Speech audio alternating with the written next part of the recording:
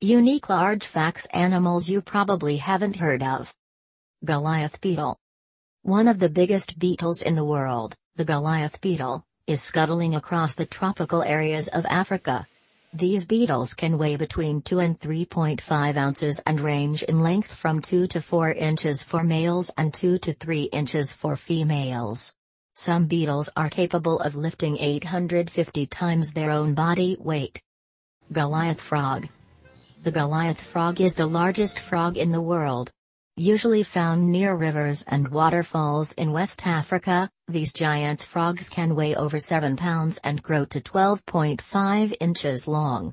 These frogs can reach considerable size, but the tadpoles are the size of a typical tadpole and lack vocal sacs, so they are unable to produce vocalizations.